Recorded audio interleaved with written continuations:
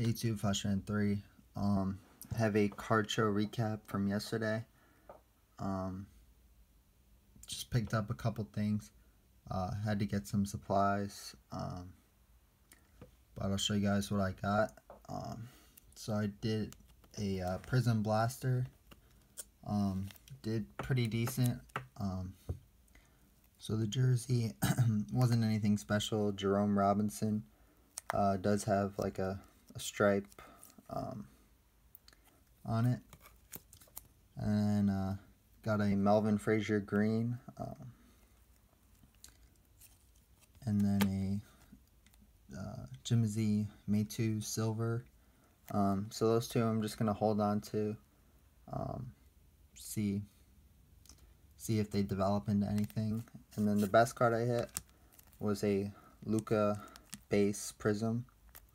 Uh, I have one of these in a PSA 10, so um, I'm gonna look this one over. Um, maybe send that in. Um, so yeah, that was a that was a nice hit. So I was happy with that. Um, so did pretty good on that. And then I just picked up uh, a couple singles. So I got this in an international affair, Gleyber Torres. Um, so a nice one. This is a rookie. They were from the uh, the update, Chrome update. So nice refractor of Gleyber. He's been uh, really hot lately. Uh, picked up a DJ LeMahieu Bowman Chrome rookie. Um, it's pretty cool.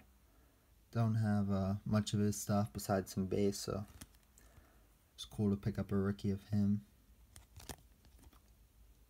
So that was a nice one. Picked up a Domingo Germán. This is 2015. I think it's Bowman Draft. It might be the regular. I'm not sure. But it's the Chrome first uh, when he's with the Marlins. So that was a cool one. He doesn't have many cards at all. Um, so uh, it's nice to pick up this one. I have the Topps update too, but he's having a really great year. So that was cool. Um, Got this Kevin Knox red, white, and blue rookie. Really nice card. Um, hopefully he has a good second season. Um, so he looked pretty decent in the summer league, but uh, I think he's could be a solid player. So it was a nice cheap pickup. Uh, this was really cool. It's uh, Michael Jordan 95, 96 Fleer Metal. Uh, really like this like this card. Uh, the metal cards are awesome. Um, so awesome pose on that one. The back, uh, it's pretty clean.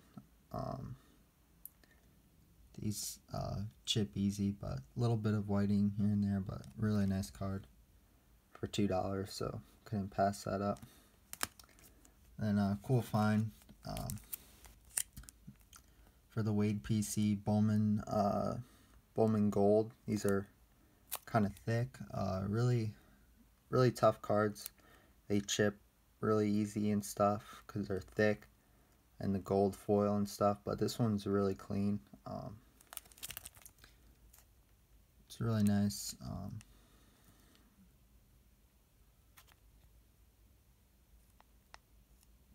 there's like a little white there, but other than that, there's like no chipping on it or Corners are good too, so maybe grade it. Um, but yeah, really nice one.